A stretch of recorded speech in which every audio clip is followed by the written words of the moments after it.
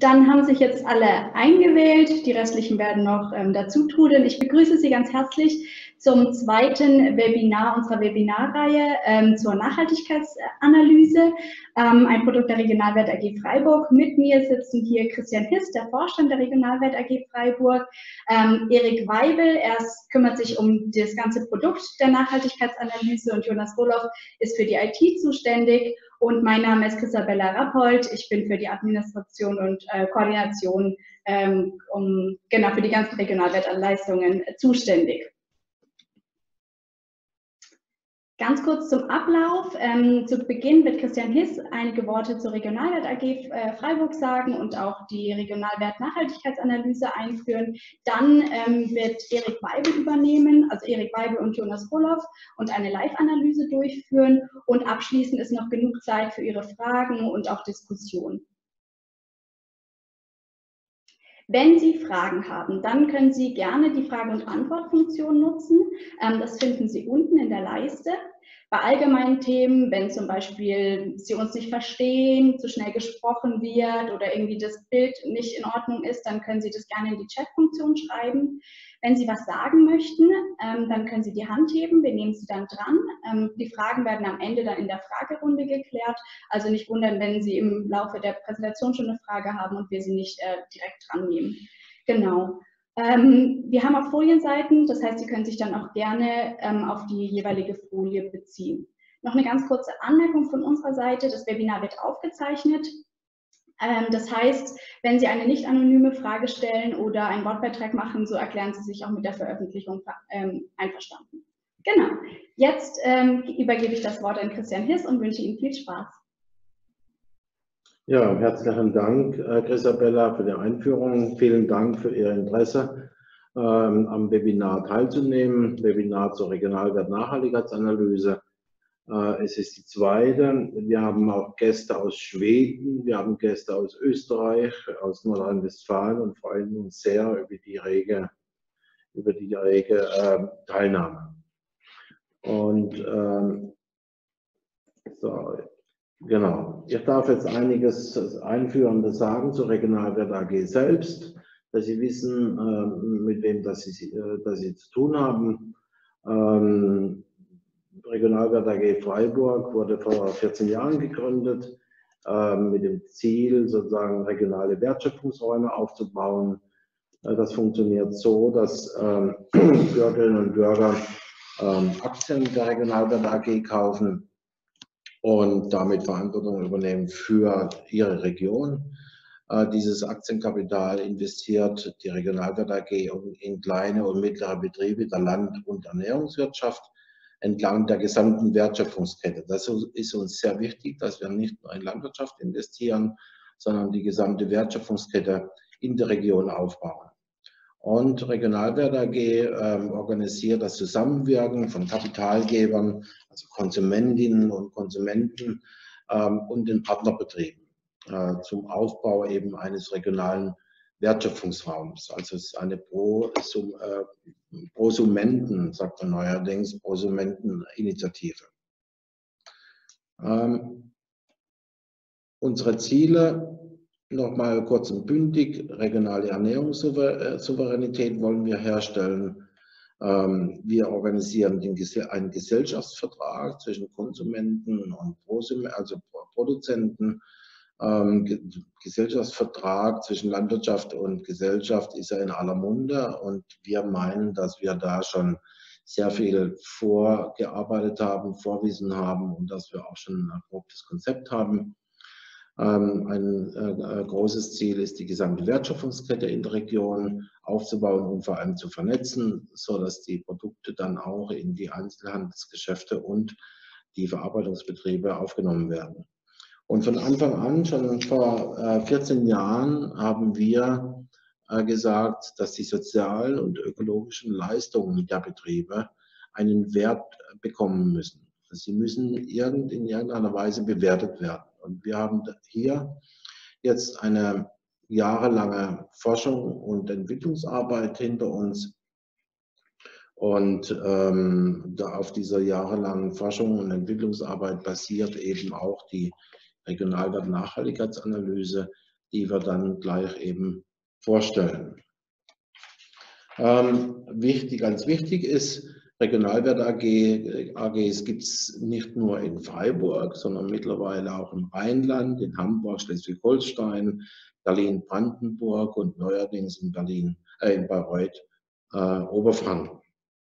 Äh, in Zahlen geschätzt, wir haben jetzt keine genaue Erhebung, aber so geschätzt sind mittlerweile 10 Millionen Euro für über, den, über die Regionalwertaktie in, ähm, in ökologische Regionalentwicklung geflossen.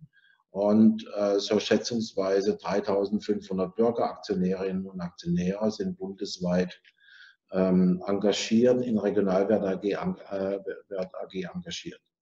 Weitere Regionalwert AGs entstehen im Moment in Bodensee Oberschwaben, Krems Österreich, Münsterland in Unterfranken, Bremen Niedersachsen, Neckar-Odenwald und Luxemburg arbeiten an einem an einer äh, an der Gründung einer Regionalwert AG. Und hier sei auch zu erwähnen, das wird man dann auch mal in eine Folie packen, ganz, ganz äh, frisch, jung wird ähm, derzeit die Regionalwert Impuls GmbH gegründet, die dann von Stefan Gothe ähm, dem, dem als Geschäftsführer äh, geleitet wird. Stefan Gothe ist Aufsichtsratsvorsitzender der Regionalwert AG Rheinland und äh, die, ähm, die Regionalwert Impuls GmbH wird zukünftig die Regionalwert AGs in Deutschland vertreten und auch die Initiativen betreuen, äh, die äh, in Gründung sind. Vielleicht so viel von ähm, äh, Regionalwert AG als Unternehmen, als Bürgerunternehmen. Ähm, wie eben schon gesagt, ähm, äh, ähm, haben wir die letzten Monate, Jahre, es geht auf jahrelange Entwicklungsarbeit zurück, aber die letzten Monate dann eben die Regionalwert-Nachhaltigkeitsanalyse entwickelt ähm, und bieten das jetzt eben landwirtschaftlichen Betrieben an. Ähm, das können ökologische Betriebe sein, das können konventionelle Betriebe sein, ist für alle interessant. Und ähm, vor allem eben über das Partnernetzwerk der Regionalwert AGs hinaus wollen wir das ähm, anbieten als Instrument, wie landwirtschaftliche Betriebe ihre Nachhaltigkeitsleistungen eben erfassen, ähm, bewerten lassen können und so, dass sie eine, eine, eine, eine Auswertung, über eine Analyse, Auswertung und Bewertung über ihren Betrieb haben. Der Status quo ist, der Hintergrund ist, warum dass wir das auch schon vor vielen Jahren aufgegriffen haben, ist, dass soziale ökologische Leistungen nur wenig attraktiv sind in der, in der Landwirtschaft. Erstens, weil sie nicht systematisch erfasst werden bisher ähm, oder kaum. Es gibt schon vereinzelte Instrumente, aber nicht sozusagen über alle Dimensionen hinweg. Ähm, wir reden ja gegenwärtig äh, viel von Wertschätzung. Die Landwirtschaft, die Landwirte, auch die Verbände verlangen mehr Wertschätzung gegenüber der Landwirtschaft und ihrer Arbeit und den Produkten. Wir sind der Auffassung, das stimmt. Aber ähm, man muss genauer, man muss in der Lage sein, genauer ähm, berichten zu können als Betrieb, was geleistet wurde letztendlich. Man kann das niemals pauschal sagen, sondern man muss, wir sind aufgefordert, als landwirtschaftlicher Betrieb da genauer einzusteigen, genauer seinen Betrieb zu analysieren, analysieren und der Gesellschaft eben berichten, was ähm, äh, wäre, Werte geleistet wird. Äh, ein großes Problem, wo, äh, an dem ich auch seit vielen, vielen Jahren, fast schon 20 Jahren leidenschaftlich arbeite, weil ich das schon sehr früh in meinem praktischen, eigenen praktischen ähm, äh, ökologischen Betrieb als echtes Defizit, als echtes Manko der, der betrieblichen Erfolgsrechnung, das heißt Buchhaltung und Bilanzierung, empfunden habe. Äh, soziale ökologische Leistungen sind nicht Teil der, Betrieb, der üblichen Buchhaltung und Bilanzierung. Und das größte Problem ist, dass sie trotzdem genutzt werden und ja eigentlich auch Betriebskapital sind. Aber dazu später mehr.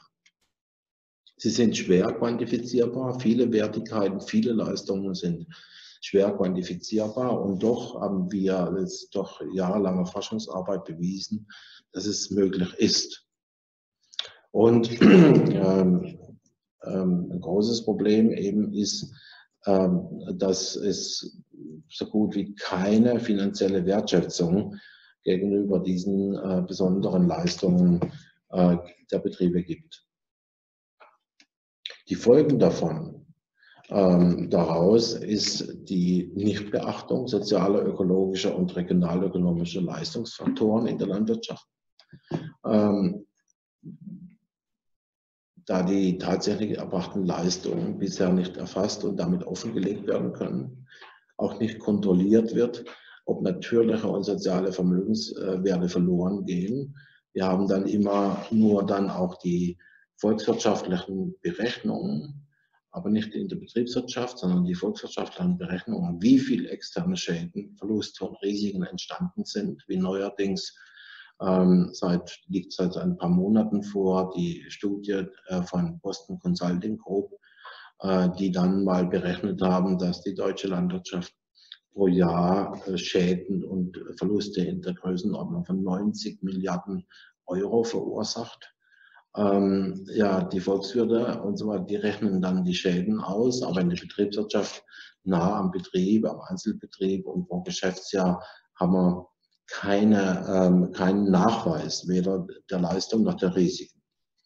Und so könnte man auch sagen, man kann überhaupt nicht beurteilen, wie, wie die Versorgungssicherheit mit Nahrungsmitteln ist oder ob sie bedroht ist, ob, ob, ähm, ob, genügend, ob die Ressourcen genügend ähm, geschont und aufgebaut werden, die wir brauchen, wie zum Beispiel Bodenfruchtbarkeit, Biodiversität äh, genetische Ressourcen, auch so ein frühes, äh, frühes, äh, frühes leidenschaftliches Thema von mir, also Saatgut, genetische Ressourcen, Pflanzenzüchtung. Das ist sozusagen alles, äh, wenn überhaupt, nur in der Volkswirtschaft, aber nicht in der Betriebswirtschaft und für den Einzelbetrieb berechnet. Und da stoßen wir rein, da gehen wir rein und meinen auch, dass je genauer ein Betrieb seine Leistungen nachweisen kann, je mehr Anerkennung aus der Gesellschaft kann er auch erwarten. Wenn er, wenn er selbst nicht in der Lage ist, seine Wertigkeiten nicht differenziert nachzuweisen, kann er auch nicht erwarten, dass die Gesellschaft dann Kunden, wie äh, zum Beispiel, äh, dass die dann sagen, äh, klar, geben wir dir mehr Geld zum Beispiel, äh, weil ein toller Typ ist, sondern äh, dass es dann erst dann äh, funktioniert, wenn, ähm, wenn ein differenzierter Nachweis über die Leistung vorhanden ist. Wir sehen das auch als Grundlage für eine politische, politische Diskussion und politische Initiativen, jetzt gerade auch im Zusammenhang mit dem neuen Vorschlag der EU-Kommission Farm to Fork, den wir auch ich, äh, als spektakulär ähm, empfinde nach so vielen Jahren ähm, Auseinandersetzung mit den Themen äh, kommt die EU-Kommission jetzt mit einem Vorschlag, den ich schon auch großartig empfinde. Ja, ähm, wie gerade eben äh, schon angedeutet, haben wir die Regionalwert-Nachhaltigkeitsanalyse äh, als erste Stufe unserer Operationalisierung von sozialen, ökologischen und regionalwirtschaftlichen Leistungen entwickelt. Und damit erfassen wir ähm, äh, solche Leistungen. Wir bewerten dann auch äh, anhand der eingegebenen Werte ähm, die betriebliche äh, Nachhaltigkeit objektiv und vergleichbar mit anderen Betrieben. Ähm, so eine Regionalwert-Nachhaltigkeitsanalyse äh, ermöglicht auch über die erbrachten Leistungen zu kommunizieren, weil, wie gerade eben gesagt, auch schon gegenüber Konsumenten, aber auch Abnehmern wie Händlern und so weiter. Man hat, bekommt einen guten Überblick über den eigenen Betrieb. Wir ist, ähm, die Bewertung deckt auch betriebliche Risiken auf, denn kein Betrieb ist immer nur im Optimum, das wissen wir, das weiß er selbst. Man hat in der Betriebsführung immer ähm, ähm, Themen offen auf eine gewisse Art. Man rennt immer dem Anspruch hinterher, dem eigenen Anspruch und auch dem dem gesellschaftlichen Anspruch. Aber ähm, wir haben jetzt so ein Instrument entwickelt, eben, ähm, das war ähm, im Betrieb ähm, den Betrieb besser beurteilen kann und sieht, wo hat man hohen Handlungsbedarf im sozial-ökologischen und regionalwirtschaftlichen Bereich und wo ist man schon ganz gut, so dass man auch dann äh, besser steuern kann. Ähm, jetzt wird es genauer. Die Regionalwert-Nachhaltigkeitsanalyse ist ein Selbstcheck. Ähm, wir verwenden über 100 Leistungskennzahlen. Ein Teil davon wird Erik gleich vorstellen. Ähm, ausgewertet wird in zehn Kategorien wie Bodenfruchtbarkeit, Wissensbildung, Regionalwertschöpfung, aber auch regionale Resilienz, äh, wirtschaftliche Souveränität ist sehr wichtig, auch in diesen Zeiten, in Krisenzeiten zeigt sich, dass, ähm, äh, dass das ein, ein wichtiger, ein wichtiger ja, äh, Wert ist, ein wichtiges Vermögen darstellt für den Betrieb, wenn man möglichst souverän ist unabhängig, nicht autark. Es wird immer wieder mal verwechselt äh, mit Autarkie. Äh, wir streben, wir favorisieren nicht den autarken Betrieb, sondern den souveränen Betrieb. Das ist äh, qualitativ was anderes. Und ähm, mit der Auswertung, die Sie erhalten, nach Durchführung, ergeben wir auch Empfehlungstexte für die einzelnen Kategorien. Also wenn Bodenfruchtbarkeit eher ähm, schwachgrün ist oder eher rot ist, dann taucht automatisch, äh, tauchen automatisch Empfehlungstexte auf. So. Wie erfolgt die, die Bewertung? Ähm, ist das schon, nee, du kommst erstmal live, gell, Erik? Wie erfolgt die Bewertung? Die Kennzahlen, die eingegeben werden, werden miteinander verrechnet, automatisch. Da haben wir eben ein Tool gebaut. Sie werden an Grenzwerten äh, gemessen. Die, diese Grenzwerte haben wir mit Expertinnen und Experten erstellt, ähm, immer wieder überprüft und die lassen sich auch wieder überprüfen. Aber wir meinen, dass wir jetzt ganz gute Werte haben. Da ist viel Zuarbeit äh, reingeflossen, auch von den anderen Regionalwert-AGs. Hier auch von Expertinnen und Experten, äh, die schon lange an den Themen arbeiten und vor allem auch Landwirte und Landwirte haben beigetragen, um da sinnvolle Grenzwerte zu finden. Ähm, wir bewerten in fünf Stufen, werden Sie gleich sehen. Ähm, die Inhalte, die Grenzwerte und so weiter fußen auch auf wissenschaftlichen Erkenntnissen. Wir haben jetzt einige, seit einigen Jahren ein, gute, ein gutes Team zusammen von ähm, Wissenschaftlerinnen und Wissenschaftlern und äh, können da auch viele Grenzwerte dann aus wissenschaftlichen Arbeiten ableiten äh, zu nachhaltiger Landwirtschaft. Genau. Ähm, jetzt gibt es die Regionalwert-Nachhaltigkeitsanalyse live. Ich bin absolut in der Zeit. 15 Minuten haben mir meine Mitarbeiterinnen und Mitarbeiter gegeben. Ich bin punktgenau ähm, gelandet. Und äh, jetzt wird spannend, äh, eigentlich spannend, bitte. Jonas erst. Es kommt erst Jonas. Und bitte sehr, Jonas. Jetzt müssten Sie meinen Bildschirm sehen. Das ist die, die Homepage regionalwertleistung.de und jetzt teilen wir die Live-Analyse in zwei Teile auf. Ich werde den kaufmännisch-administrativen Teil übernehmen und Erik Weibel in dieser Live-Demonstration ist der Betriebsleiter und wird dann den fachlichen Teil übernehmen. Ich gehe auf der Homepage zu dem Reiter Nachhaltigkeitsanalyse sehe hier eine Übersicht über die Funktionen, die Kategorien der Nachhaltigkeitsanalyse, welche Vorteile es nochmal bringt, übersichtlich aufgeführt und gehe jetzt auf die Schaltfläche Jetzt durchführen und sehe auf dieser Seite nochmal etwas formaler die, die organisatorischen Punkte. Die Kosten dafür 200 Euro netto, das ist der Einführungspreis bis Ende des Monats den wir verlängert haben. Die Zahlungsweisen mit Kreditkarte, PayPal, Sofortüberweisung und Lastschrift und dass sie sich im Wesentlichen an den deutschsprachigen Raum richtet. Die äh, Durchführung ist quasi auch in zwei Teilen aufgeteilt. Den ersten übernehme ich, die Anmeldung zur Teilnahme und dann der zweite Teil wird mein Kollege Erik Weibel übernehmen. So, und jetzt starten wir auch direkt mit dem Bestell- und Kaufvorgang. Und ich werde jetzt ein paar Demo-Daten eintragen.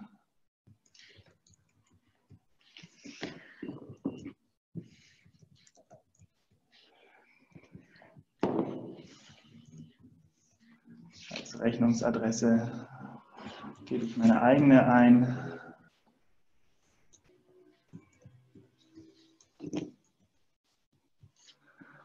Und als Anschrift dieser Betrieb ist an der Hauptstraße 1 in der Postleitzahl 12345 in Musterhausen.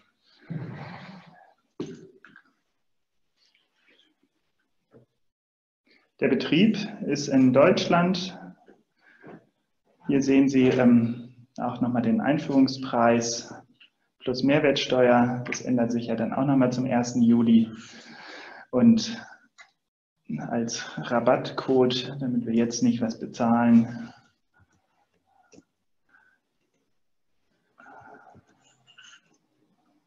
Gibt es einen einmaligen Code, den wir jetzt anwenden für diese Demo. Zu dem Rabattcode sage ich Ihnen auch gerne noch ein, zwei Sätze, weil es ist geplant, dass wir jetzt nach der Einführungsphase auch ein Gutscheinsystem etablieren.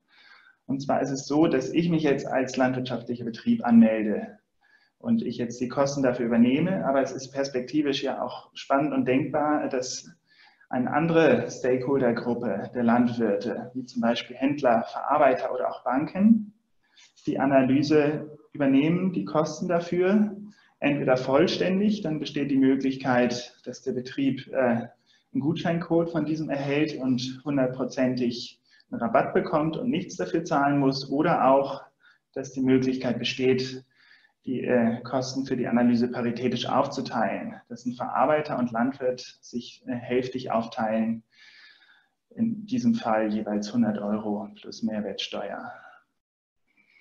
Zu guter Letzt haben wir hier noch die Möglichkeit, einen Newsletter zu abonnieren und natürlich das formale Datenschutzerklärung, wie wir mit den Daten umgehen, wir müssen sie ja verarbeiten, um die Auswertung durchführen zu können und auch die Auflistung der allgemeinen Geschäftsbedingungen. Wie geht es jetzt weiter? Normalerweise, wenn jetzt auch eine Gebühr fällig ist, wird man zum Zahlungsdienstleister weitergeleitet. Aber jetzt auch habe ich einen Gutschein eingelöst. So werden die vollständigen Kosten übernommen und dieses Fenster übersprungen. Und ich werde jetzt direkt zu dem Erfassungsformular weitergeleitet.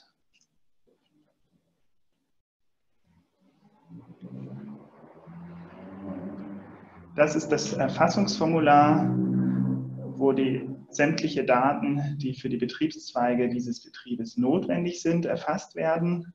Ich beginne jetzt nochmal, dass ich sage, es ist das Kalenderjahr 2019, für die wir die Daten erheben und bewerten. Und hier sind sonst auch die Daten, die ich gerade eben eingetragen habe, drin. Und jetzt möchte ich das an meinen Kollegen Erik Weibe übergeben. Und da, Genau, und da gibt es jetzt die Möglichkeit, die Funktion speichern und später fortfahren. Weil es werden Sie auch gleich sehen, da werden viele Detailfragen auch gestellt. Und es kann ja auch mal sein, dass einige Fragen nicht direkt beantwortbar sind, so dass man kurz recherchieren muss oder einen Kollegen fragen muss.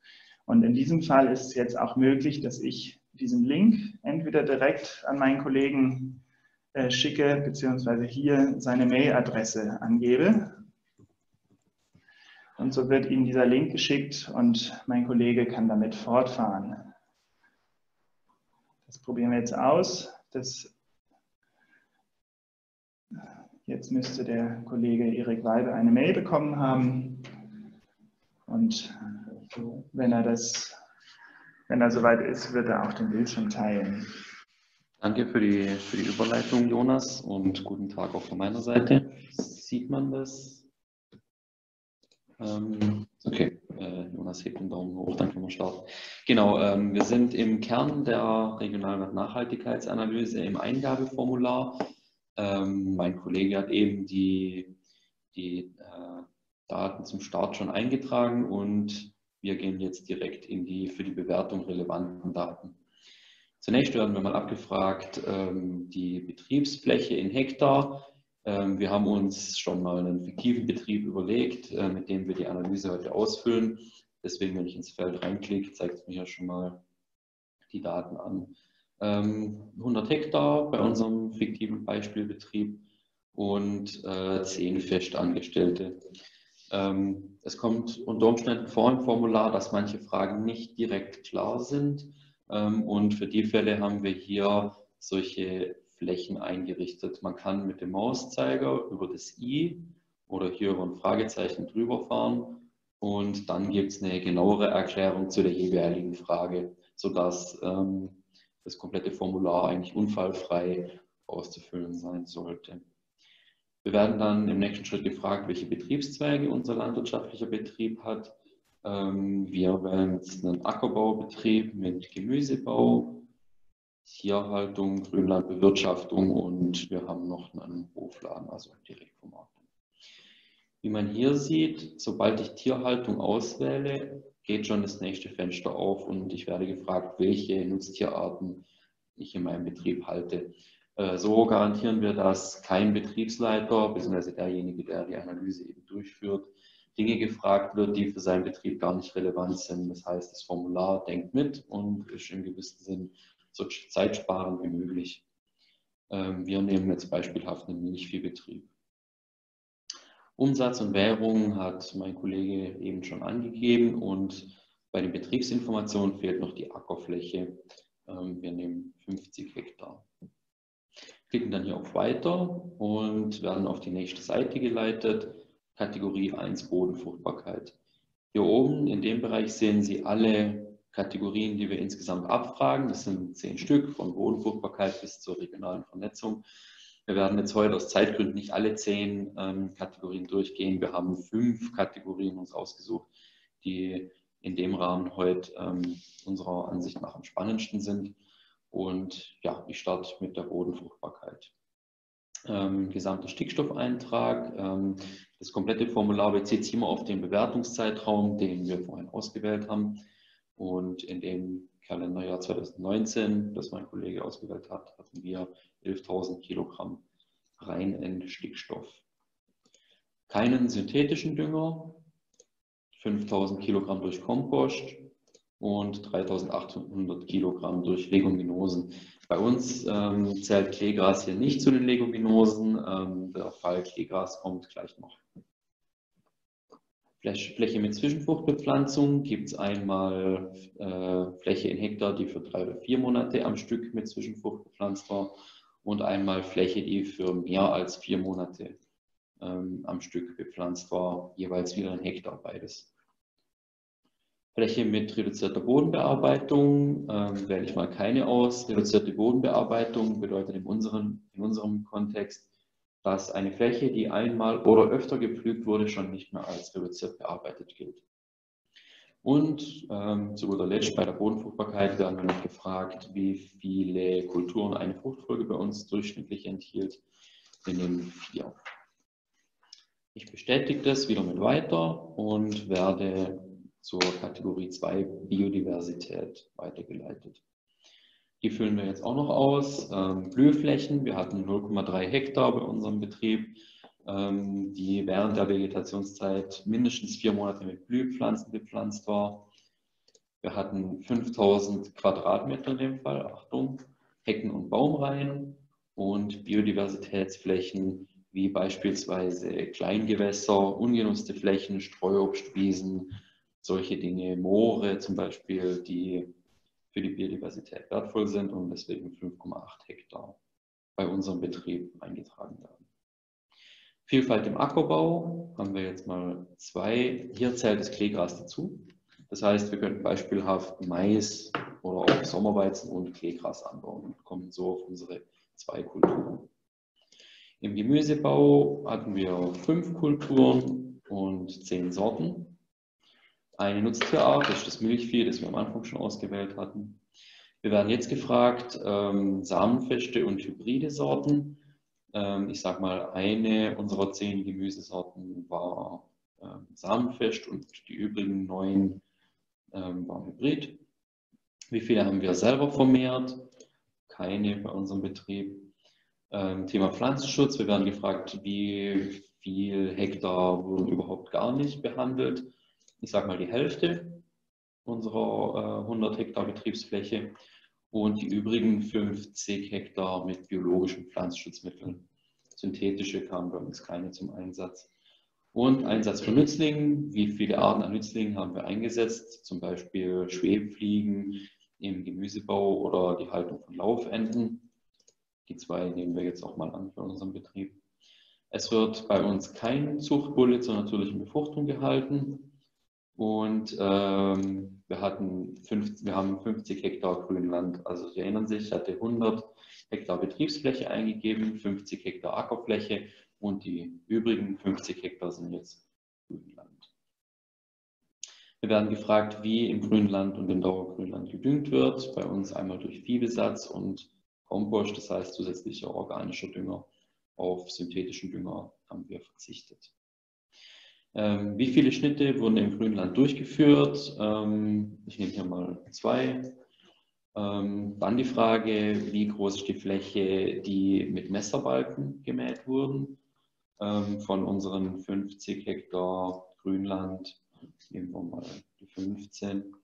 Und äh, zum Abschluss bei der Biodiversität die Frage, wie groß ist die Fläche, die unter naturschutzbezogener Bewirtschaftung bewirtschaftet wurde, hatten wir jetzt keine bei unserem Betrieb. Beispielsweise Landschaftspflegerichtlinien oder Faktflächen bei uns in Baden-Württemberg. Aber ähm, hat jedes Bundesland und auch im Ausland, jede Region ihre eigene Bezeichnung. Bestätigen wir mit weiter und würden jetzt zur Kategorie 3 Klima ähm, befragt. Aber wie ich schon angekündigt habe, äh, werden wir nicht alles durchmachen. Deswegen springe ich mal weiter zur Kategorie Wissensbildung, damit wir noch was aus der Dimension Soziales haben. Ähm, wir werden dann hier direkt gefragt, ähm, wie viele Praktikantenwochen es bei unserem Betrieb gab. Ich gehe mal von 20 aus. Und wie viele Auszubildende hatte unser Betrieb? Wir hatten einen. Externe Fortbildungen, sowohl für den Betriebsleiter, die Betriebsleiterin, wie auch für die Angestellten. Nehmen wir mal 300 für in dem kompletten Kalenderjahr 2019. Betrieb in der Gesellschaft, wie viele Projekte unser Betrieb zum gesellschaftlichen Engagement durchgeführt hat. Ähm, da wird der Begriff vielleicht nicht direkt klar, deswegen gibt es hier ein Infokästchen. Projekte, die hier rein sind, sind Hoffeste und Hofführungen oder wenn eine Schulklasse vorbeikommt, wenn eine Studierendengruppe vorbeikommt. Das sind so klassische Projekte, mit denen man nach unserer Definition zum gesellschaftlichen Engagement beiträgt. Hatten wir jetzt zwei beispielhaft. Und wir haben an einem Forschungsprojekt teilgenommen. Ich bestätige wieder mit weiter und hier würde jetzt nach Arbeitsqualität gefragt. Auch das überspringen wir und gehen direkt zur wirtschaftlichen Resilienz weiter.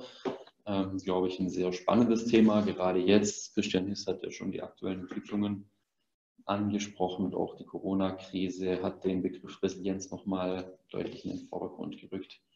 Wir haben eine extra, schon vor Corona, eine extra Kategorie wirtschaftliche Resilienz ähm, entwickelt, weil uns das einfach schon immer wichtig war zu wissen, wie resilient ist der landwirtschaftliche Betrieb eigentlich. Was wir hier abfragen, zum Beispiel, wie hoch der Umsatzanteil der Betriebe ist, ähm, äh, Endverbraucher und Einzelhandel, wie stark äh, ist der größte Einzelkunde beim Umsatz, nehmen wir mal 40 Prozent an für unseren Betrieb. Und das umsatzstärkste Einzelprodukt wollen wir wissen, brauchen wir mal 25 Prozent. Ähm, wir haben die Analyse getestet, Anfang des Jahres mit Testbetrieben und da kam oft die Frage, wie definiert ihr eigentlich Produkt? Wir sagen jetzt, ähm, dass ähm, es immer zu Kulturen zusammengefasst wird. Das heißt, wenn ich viele verschiedene Tomaten anbaue und die alle frisch verkaufe, wird es als Einzelprodukt Tomate zusammengelegt. Wenn ich jetzt mit einem Teil meiner Tomaten zum Beispiel Tomatensauce herstelle und die in meinem Hofladen verkaufe, dann würden die frischen Tomaten und die Tomatensauce als zwei unterschiedliche Produkte gelten, weil da einfach eine, verschiedene eine unterschiedliche Verarbeitungsstufe herrscht. Ähm, unser Eingabeformular hat nicht nur Felder, in die man selber was einträgt, sondern auch ähm, Auswahlfelder. Hier wird jetzt gefragt, was wir als betriebliches Nachhaltigkeitsmanagement integrieren. Ich sage mal, wir sind zertifiziert nach bestimmten Standards, wir vermeiden Plastik, äh, wir haben Photovoltaik bei uns am Betrieb und ähm, ähm, jetzt kommt es noch vor, dass ähm, manche Dinge ich bei meinem Betrieb leiste, die hier gar nicht auswählbar sind. Für den Zweck haben wir das weitere Feld eingerichtet, da klickt man drauf und dann geht hier neue Eingabemaske auf. Ähm, ich trage jetzt mal ein, dass wir noch in einem Zertifizierungsgremium aktiv sind. Ähm, das kann ich hier angeben und wird dann dementsprechend bei der Bewertung später auch berücksichtigt. Wir sind nicht mit Regionalmarken zertifiziert, aber wir erhalten, wie es für viele Grünland- und Milchviehbetriebe der Fall ist, Kulturlandschaftsmerkmale. Ähm, wir halten, ne, sagen wir mal, wir bauen äh, alte Sorten und Kulturen an und wir erhalten noch naturraumtypische Artenvielfalt in Grünland. Zum Abschluss eine wichtige Frage. Wie viel Hektar des Betriebes befindet sich eigentlich im Betriebseigentum? Ähm, für unseren fiktiven Betrieb sind es 30 Hektar. Ich würde dann ähm, die regionale Wertschöpfung noch ausfüllen und das wäre die letzte Kategorie heute. Ähm, da geht es vor allem darum, wie viel der Produktionsmittel aus der eigenen Region stammen und selbst produziert werden. Futtermittel produzieren wir 70 Prozent selber. Beim regionalen Futter ist jetzt zu beachten, dass ähm, hier sowohl das selbstproduzierte wie auch das regional zugekaufte Futter ähm, zu berücksichtigen ist. Das gilt für alle Produktionsmittel. Und ähm, in unserem kompletten Eingabeformular bezieht sich der Begriff regional immer auf den Umkreis von 75 Kilometern rund um die Betriebsstätte, sodass wir für unseren Betrieb auf 85 Prozent regionales Futter kommen. Wir haben äh, für drei Sorten Jungpflanzen selbst bezogen und für insgesamt 30 Sorten äh, die Jungpflanzen regional zugekauft eigene Stickstoffversorgung, 8000 Kilogramm ähm, aus der Region 8800. Das heißt, ähm, ich habe noch 800 Kilo von einem anderen Betrieb aus meiner Region zugekauft. 75 Prozent der Verpackungen, die wir verwenden, sind Mehrwegverpackungen. Und ähm, ich klicke auf Weiter. Die letzte Kategorie wäre dann regionale Vernetzung. Wie angekündigt werden wir die jetzt überspringen. Ähm, ich klicke also hier auf Abschluss, erkläre noch, dass ich alle Daten nach bestem Wissen und Gewissen ausgefüllt habe und klicke auf Absenden. Wenn jetzt technisch alles glatt läuft, ja, kriege ich eine Fehlermeldung, weil ähm, ich nicht alle Felder ausgefüllt habe. Das heißt, das Formular denkt doch hier wieder mit und sollte ich irgendwas vergessen haben, dann werde ich hier nochmal in diesem Schritt darauf aufmerksam wir haben die Analyse schon mal ausgefüllt, komplett für unseren Beispielbetrieb, damit ich Ihnen ähm, auch ähm, das Ergebnisdokument zeigen kann, das ich jetzt im nächsten Schritt auch mache. Muss ich hier eine neue Freigabe machen. Sieht man die Ergebnis-PDF? Jawohl, sehr gut. das ist also das, was man nach Absenden der Daten umgehend per E-Mail erhält, diese Ergebnis-PDF. Äh, hier das Deckblatt, hier ist nochmal der Betrieb aufgeführt mit Anschrift, das ausgewählte Kalenderjahr oder Wirtschaftsjahr. Und auf Seite 2 wird es dann spannend, denke ich, das, warum äh, sich die meisten heute hier eingeloggt haben. Hier sieht man, ähm, welches Ergebnis auf Grundlage der vorhin eingegebenen Daten zustande kam. Hier oben nochmal aufgeführt, welche Betriebszweige unser Betrieb hat und dann gegliedert nach den drei Dimensionen Ökologie, Soziales und Regionalökonomie, die zehn Kategorien. Die sind jeweils mit den Prozentangaben äh, äh gelistet, wie viel Prozent der möglichen Punktzahl habe ich in der jeweiligen Kategorie erreicht und daran angelegt, angelehnt auch jeweils eingefärbt. Die Farbskala ist unten erklärt wenn ich weniger als 20 Prozent der möglichen Punktzahl erreiche, ähm, bin ich rot, also nicht nachhaltig. Und so steigert sich das über orange, gelb, hellgrün bis zu stark nachhaltig dunkelgrün, wenn ich mehr als 80 Prozent der möglichen Punktzahl erreiche. Wenn man sich jetzt fragt, wie dieses Ergebnis beispielsweise Bodenfruchtbarkeit gelb 42 Prozent zustande kommt, geht es weiter auf Seite 3. Hier sehen Sie wieder die Kategorien und jeweils mit Unterkategorien. Bei der Bodenfruchtbarkeit hatte ich zum Beispiel Stickstoffversorgung 100%, top, also sehr gut.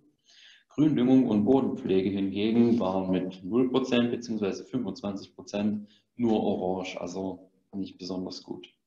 Und so zieht sich das über alle 10 Kategorien und noch 36 Einkategorien, äh, Unterkategorien, sage ich gleich noch was dazu. Ähm, und für die Unterkategorien, in denen man Rot oder Orange erzielt, wie Christian Hiss vorhin schon mal erwähnt hatte, gibt es auf den folgenden Seiten dann Empfehlungstexte, wie man ein besseres Ergebnis erreichen kann. Ähm, das Ergebnisdokument schließt mit einer Dokumentation der Eingabewerte. Das heißt, Sie können nochmal genau nachschauen, welche Daten habe ich eingegeben, auf welcher Basis erscheint, ähm, äh, sind meine Ergebnisse zustande gekommen und können damit gegebenenfalls dann zu uns kommen. Was ich ähm, noch sagen möchte, abschließend von meiner Seite, ähm, wir arbeiten mit Hochdruck an der Implementierung neuer Kennzahlen und Eingabewerte. Das wird im Laufe der nächsten Woche, wahrscheinlich Ende der Woche, äh, umgesetzt und äh, zu den ungefähr 100 Kennzahlen, die wir jetzt schon haben, kommen nochmal 70, 80 hinzu. Das heißt, der Katalog an Kennzahlen wird nochmal deutlich erweitert, das Ergebnis wird genauer und wir haben auch Kennzahlen für Weinbau, Putenmast und Ziegenhaltung entwickelt. Das heißt, diese drei Betriebszweige können ab nächste Woche, wenn dann die Einführungsphase endet, sich auch mit der regionalen Nachhaltigkeitsanalyse beenden lassen. Genau, ähm, das wäre es von meiner Seite und ich würde nochmal an ähm, Christian Hiss abgeben.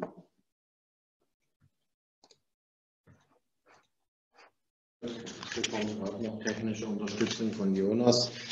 Danke sehr, ähm, dass äh, die Folien wieder auftauchen. Hier ist es schon. Es kommen jetzt noch ähm, zwei, drei abschließende Worte, bevor wir in die Diskussion gehen können. Für wen ist äh, die Regionalwert-Nachhaltigkeitsanalyse interessant? Ähm, äh, vor allem für Landwirtinnen und Landwirte, die sich einen Überblick verschaffen wollen über das eigene Wirtschaften, über den Status quo vor dem Hintergrund der Nachhaltigkeit.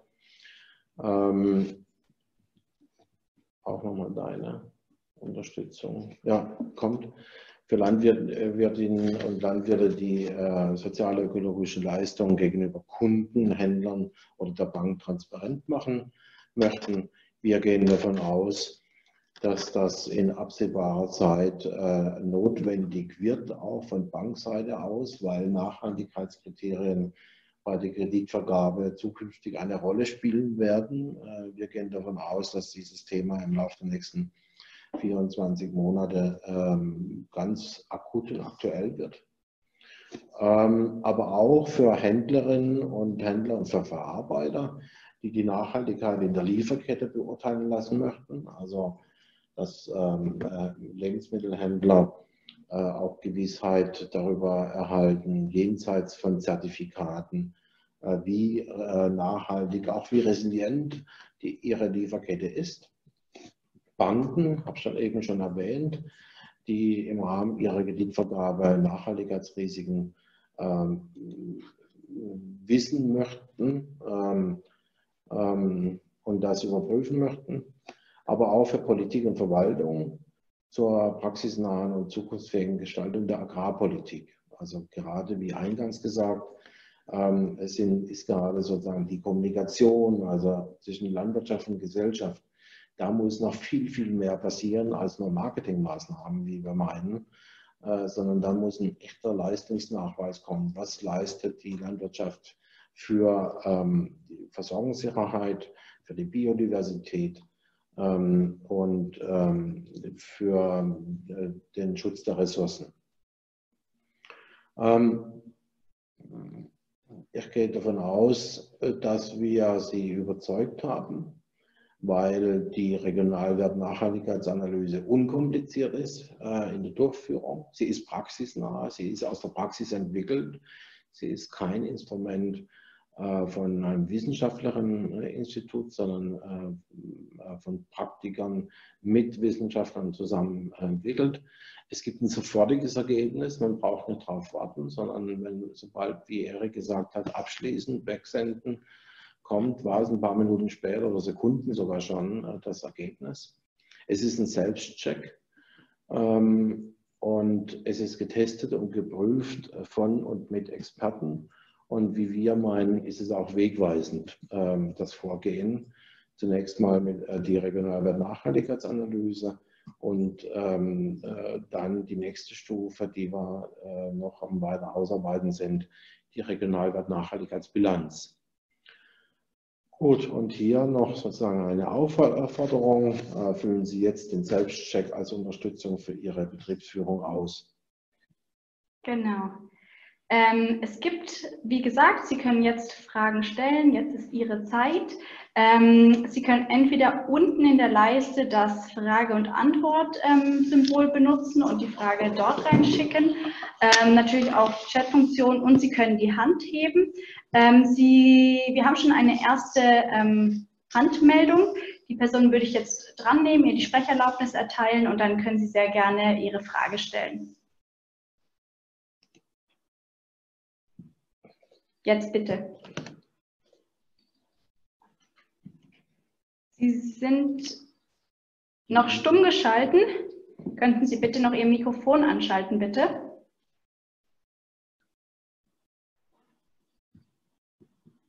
Das, finden, das Mikrofon finden Sie unten links. Hallo, ich vermute, es war ein Versehen. Ich hatte keine. Ich vermute, es war ein Versehen. Ich hatte eigentlich keine Handmeldung aktiv geklickt. Aber danke. Gut. Ob, ähm, ob man die Folien ähm, zugesandt bekommt. Sie finden alle Informationen dazu auch auf unserer Homepage. Ähm, das heißt, Sie können sehr gerne auf unserer Homepage ähm, danach lesen, ähm, was, Sie, was Sie noch wissen wollen darüber hinaus. Ansonsten, Sie können uns natürlich auch telefonisch kontaktieren, das ist gar kein Problem. Wir sind immer für Sie erreichbar. Äh, das ist ja aufgezeichnet worden jetzt, oder? Wir zeichnen auf und auch das könnte man verlinken, oder? Ja. Nochmal an, äh, ansehen.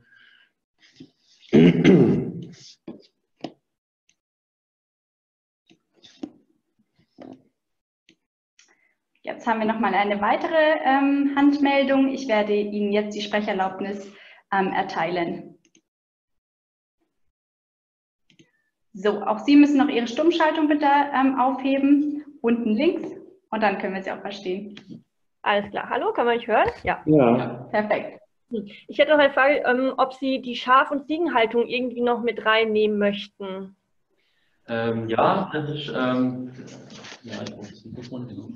ja, ähm, die Frage passt sehr gut, ja. Also Christian Hiss hat ja gerade schon erwähnt, dass äh, mit Ende der Einführungsphase werden wir einige äh, Kennzahlen implementieren. Ähm, wir implementieren aber auch neue Betriebszweige und äh, die Schafhaltung leider nicht, aber die Ziegenhaltung wird implementiert, genau. Das heißt, ähm, ab Anfang Juli, ähm, sage ich mal, ähm, werden auch äh, Ziegenhaltungsbetriebe ähm, sich bewerten lassen können. Genauso wie übrigens auch äh, Weinbaubetriebe und auch die Putenmast kommt neu dazu.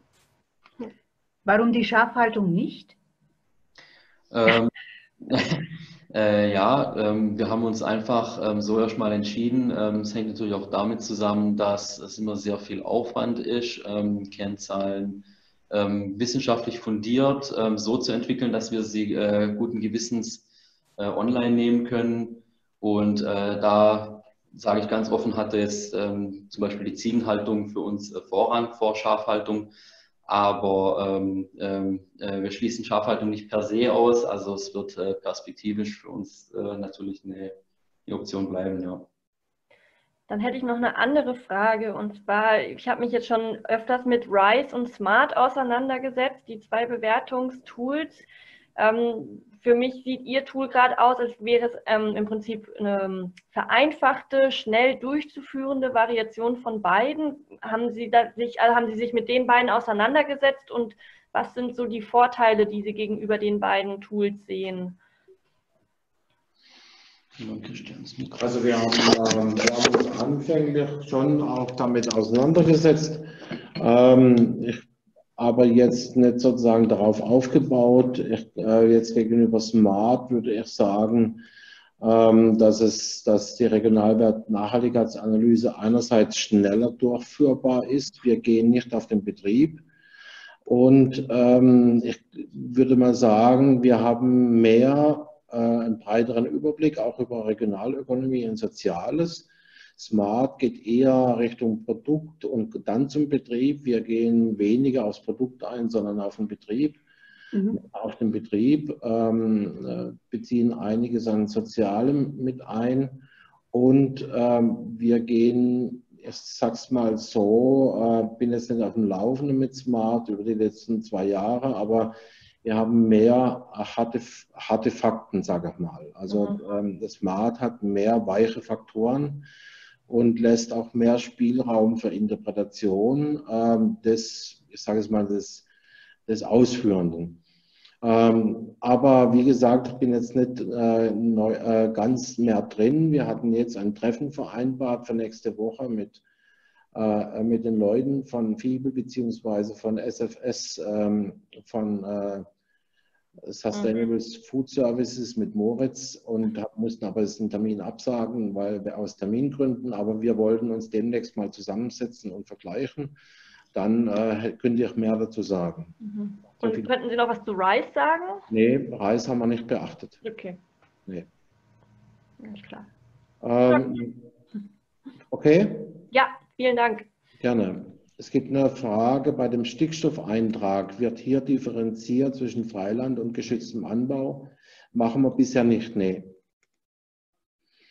Ähm, wie äh, Erik schon gesagt hat, also auch im Zusammenhang mit, mit den Schafen, äh, selbstverständlich wissen wir, dass wir die Analyse ins Unendliche treiben könnten, in die Detailliertheit, aber ich muss als Geschäftsführer offen gestehen, wir müssen sozusagen jetzt auch mal raus und aus der Entwicklungsarbeit in die Praxis und in die Umsetzung. Und äh, das kann gut sein, das schließt auch die nächste Frage an. Wo sehen Sie weitere Entwicklungspfade der Analyse, ergänzende Kategorien? Also das Tool und das Prinzip, das Konzept und das Tool, das lässt zu, auch von der Technik her, Jonas, ne? das lässt zu, dass man noch viel, viel differenzierter reingehen kann. Und ich bin ganz überzeugt davon, dass es auch passieren wird in den nächsten Jahren. Die Frage ist immer, wie gerade eben schon gesagt, wann geht man mal raus, wann geht man in die Praxis und wendet mal an. Und mit der Anwendung, mit jeder Anwendung bekommt man dann auch wieder mehr Daten mit Informationen, Kritik. Aber wir haben gesagt, äh, jetzt äh, zum Frühjahr 2020, Jetzt sind wir so weit, dass wir einfach auch mal raus können und, äh, und äh, in die Anwendung können. Und dann werden wir auch in, in, in regelmäßigen Abständen die Analyse, das Tool, die Fragerei und so weiter verfeinern und, äh, und detaillierter machen und in die Zukunft hinein. Vielleicht das zu dieser Frage. Ähm, dann. Äh,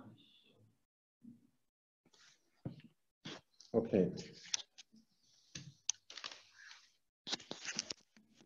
Ja, ähm, Timo, danke für deine Frage. Ähm, äh, richtig, also Bodenwertigkeiten zum Beispiel äh, fragen wir nicht ab. Also uns geht es äh, darum zu bewerten, was jeder einzelne Betrieb bei sich leistet, sprich welchen Aufwand der Betrieb äh, betreibt und nicht welches Ergebnis dabei rauskommt. Weil zum Beispiel äh, ein Klassiker bei der Bewertung wäre ja auch Humusaufbau. Und äh, wir haben uns aber mit Absicht gegen solche Möglichkeiten entschieden, weil ein Betrieb, der sehr fruchtbare Böden hat, wie es bei uns hier am Kaiserstuhl zum Beispiel der Fall ist, der hat es ja viel leichter, eine gewisse Menge äh, Humus aufzubauen, als ein Betrieb, der an einem sehr ungünstigen Standort steht. Ähm, deswegen ähm, äh, fragen wir nicht nach konkreten Ergebnissen, wie viel Humus hast du aufgebaut, sondern wir fragen, welchen Aufwand hast du betrieben, um Humus aufzubauen. Ähm, dadurch wollen wir eine größere Vergleichbarkeit ähm, und Übertragbarkeit des Ergebnisses auf unterschiedliche Betriebe erreichen. Ja, die Frage von Frau Hecker. Ähm, die Frage ist, gibt es irgendeine Verknüpfung zur Gemeinwohlbilanz? Ähm, ja, auf der Ebene der Leistungsfaktoren, der Indikatoren kann man eine gewisse, eine gewisse Verknüpfung erkennen, aber wir werden das oft gefragt, aber äh, ich muss da sozusagen als, als äh, Initiator sagen, der auch Christian Ferber kennt und schon auch 2010 zum ersten Mal äh, mich mit Christian Ferber getroffen habe, die Unterscheidung zur Gemeinwohlbilanz ist nach, bei uns ganz klar nach innen auf den Betrieb und nicht im Hinblick auf die Leistung für das Gemeinwohl. Man könnte jetzt hingehen und ähm, einige Leistungsfaktoren sicher ähm, auch sozusagen dem Gemeinwohl zurechnen, aber das ist nicht unser Ansatz. Äh, und da gibt es ja auch schon die Gemeinwohlbilanz, die ist ja hervorragend, die nimmt den, der, das Gemeinwohl im Blick und wir nehmen aber ganz klar den Betrieb in den Blick. Also insofern unterscheiden wir uns, aber letztendlich gibt es selbstverständlich Verknüpf äh, Verknüpfungen, Überschneidungen und äh, vor allem in der Intention, äh, die Wirtschaftsbetriebe nochmal ganz anders zu betrachten und auszurichten, ähm, als äh, das in der Vergangenheit der Fall war.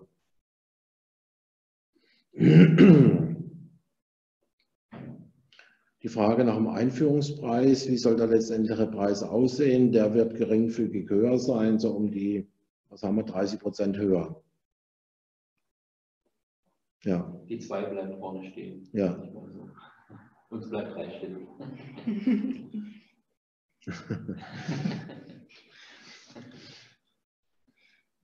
Gut, weitere Fragen?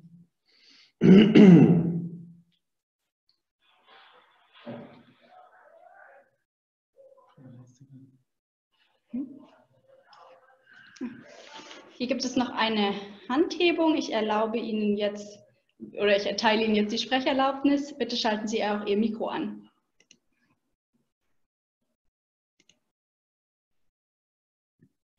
Gut. Ja. Hallo Christian. Hi. Ich wollte noch mal fragen, ob ihr noch ein paar Worte sagen ähm, könnt zum Thema Arbeitsqualität und soziale Gerechtigkeit, also zu den sozialen Kriterien, die auch ähm, erhoben werden, was da im Hintergrund ähm, für Messlatten, für Messkriterien, also für welche Messkriterien ihr euch da entschieden habt. Das macht Erik.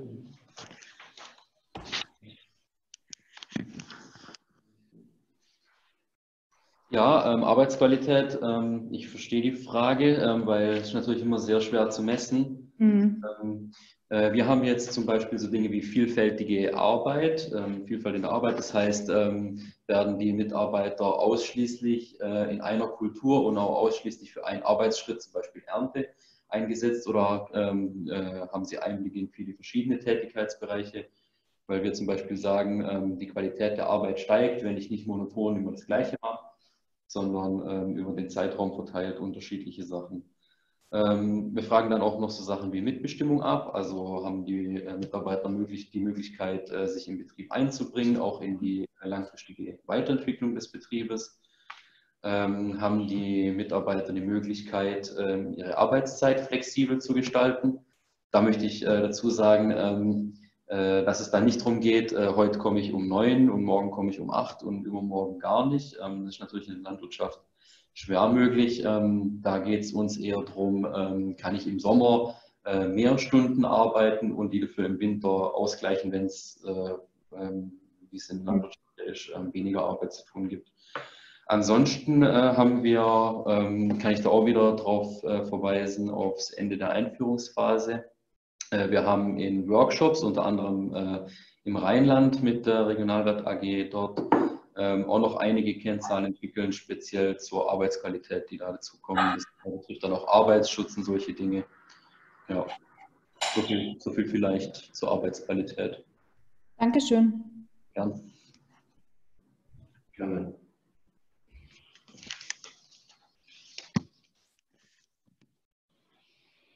So, gibt es noch weitere Fragen von Ihnen?